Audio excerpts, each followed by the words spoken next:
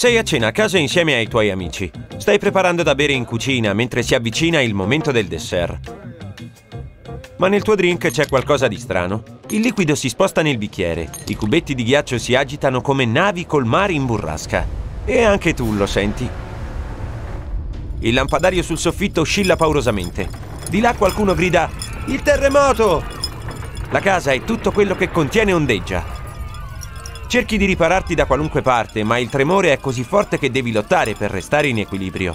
Tutte le stoviglie, i bicchieri, i piatti si scuotono e cadono in mille pezzi sul pavimento. Cadono i libri e gli scaffali, cadono i quadretti appesi alle pareti, tutto ondeggia e cade. Trovi riparo sotto il tavolo nella sala da pranzo per evitare cocci e vetri rotti. Ti era già capitato di avvertire un terremoto, ma mai uno così forte. Controlli il telefono, ma niente, nessun segnale. Tutto è successo così in fretta che quasi non ci credi. Con un boato assordante, alla fine tutta la casa crolla. Il terremoto più forte mai registrato è quello del 1960 in Cile.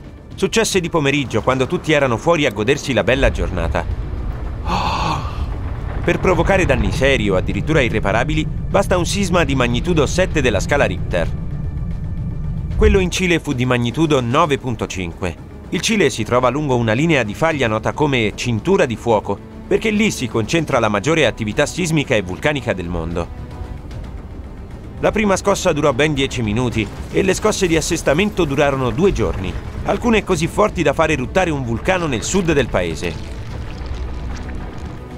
Come se non bastasse, il terremoto scatenò anche tremende ondate di marea in tutto il Pacifico, alcune alte fino a 25 metri, il terremoto e il maremoto furono così forti da provocare danni anche molto lontano, alle Hawaii, in Giappone e nelle Filippine. I danni ammontarono ad un miliardo di dollari dell'epoca. Moltissime persone restarono senza casa e crollarono anche ponti e infrastrutture. Le macerie dei palazzi crollati si estendevano a perdita d'occhio.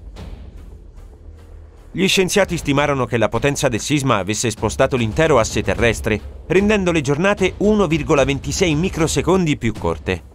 Ti sembra poco, dici? Pensaci meglio. Un unico disastro naturale così forte da influire persino sul tempo. Molte città costiere vennero rase al suolo dal sisma o dal maremoto. L'economia del paese finì in ginocchio. Si è calcolato che se un terremoto simile accadesse oggi, causerebbe danni per oltre 20 miliardi di dollari. Ma se il terremoto fosse addirittura due volte più potente di quello, che succederebbe? Per cominciare lo sentiresti anche a grandissima distanza. Il terremoto cileno scatenò onde di tsunami che arrivarono fino in Cina, Corea, Vietnam e Australia. Con un terremoto due volte più forte, le onde di marea sarebbero due volte più alte. L'altezza di otto giraffe messe una sopra l'altra. Chi vive in zone costiere se ne accorgerebbe subito. Prima le acque si ritirerebbero, così tanto da portare allo scoperto parecchi chilometri di fondale. Di solito è proprio questo il primo segnale di imminente arrivo di un'onda di tsunami. Supponiamo che succeda veramente. Ti abbiamo lasciato sotto le macerie di casa, ma in qualche modo riesci a liberarti e a uscire all'aria aperta. E come te, tante altre persone, perché tutte le case del quartiere sono ridotte come la tua, cumuli di macerie. Sono crollati anche i ponti e non c'è più modo di andare da una parte all'altra. Ti guardi intorno, spazi via la polvere di dosso e cerchi aiuto. Camion dei pompieri e ambulanze già fanno la spola tra le case e le auto distrutte. Cerchi di raggiungere la tua auto, ma una scossa di assestamento improvvisa ti fa cadere sul marciapiede. Con i ripetitori fuori uso, il tuo telefonino è totalmente inutile. Con le ginocchia che tremano, riesci a rimetterti in piedi e proseguire.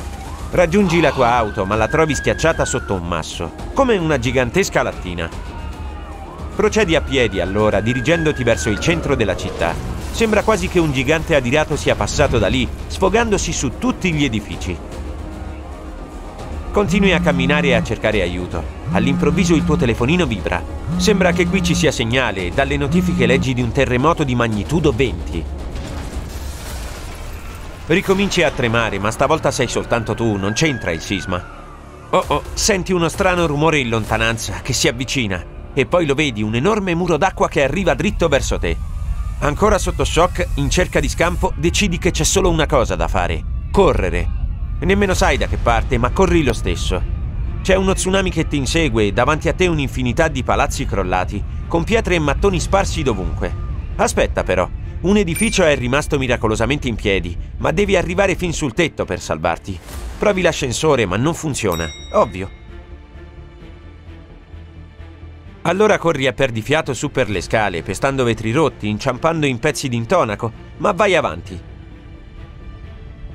Ti affacci alla finestra e vedi che l'onda è ormai vicinissima. Ma ce l'hai quasi fatta. Ancora pochi scalini e sarai sul... Oh! L'acqua irrompe nell'edificio e ti risucchia per almeno due piani. Non riesci a vedere quasi niente, ma sai che devi nuotare verso l'alto. L'acqua però continua a trascinarti giù. Dopo 30 drammatici secondi riesci a sfuggire all'onda e a continuare la tua corsa verso il tetto. Ce la fai per un soffio e ti lasci cadere senza fiato lì sul duro cemento del tetto. Per ora sei al sicuro. Lo tsunami intanto avanza, devastando la città. Il tuo telefono è zuppo d'acqua e del tutto fuori uso. Da lassù hai una visuale perfetta su tutta la città, sommersa da acqua e detriti. Poi la terra ritorna di nuovo a tremare. Probabilmente ti conviene restare lì dove sei e aspettare che arrivi un elicottero di soccorso. Ma ecco che un'esplosione improvvisa quasi ti sfonda i timpani e fa tremare la terra ancora di più. In lontananza vedi una nuvola di fumo che si innalza fino a coprire il cielo. Il sole scompare ed è allora che vedi i primi lapilli di lava che volano nel cielo, atterrando vicino a te. La colata di lava ben presto arriva in città. Il sisma è stato talmente potente e intenso da spostare in un colpo solo le placche tettoniche del pianeta, facendo fuoriuscire enormi quantità di magma in superficie. E col magma anche gas e vapori bollenti. Senti subito il calore Vedi il magma che ricopre tutto ciò che incontra, divorando strade e auto. Ma ora hai un bel problema.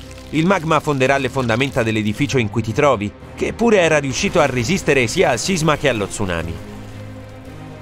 Altri edifici in lontananza ora stanno crollando, fondendosi con il fiume di lava che ha ormai occupato la tua città. Uno dopo l'altro li vedi sparire, il che significa... Oh no! Anche l'edificio dove ti trovi comincerà ad oscillare. Di lì a poco crollerà come gli altri. Ma in quel momento vedi una luce. Un elicottero che viene verso di te. Agiti le braccia, fai di tutto per farti vedere. E funziona. L'elicottero ti individua, ti lancia una scala di corda e ti trae in salvo. Al sicuro sull'elicottero puoi osservare meglio il disastro che ha appena colpito la tua città e il mondo sotto di te. I soccorritori ti portano in un centro di raccolta dove i superstiti sono subito ricoverati in un improvviso pronto soccorso. Vi è andata proprio bene. Un anno dopo, le acque dello tsunami si sono ritirate, la colata di lava si è raffreddata, ma della città non resta più traccia e il paesaggio intero ora è diverso. Il cataclisma ha gettato il paese in una crisi economica da cui impiegherà anni, anzi decenni per riprendersi. Servono mesi per verificare che non ci siano altri pericoli, come cavi elettrici ancora in tensione o fughe di gas. La tua città viene ricostruita maggiormente nell'entroterra rispetto a dove si trovava. Altre città invece vengono ricostruite direttamente sopra le macerie. Altre ancora vengono abbandonate e i superstiti spostati verso le città vicine,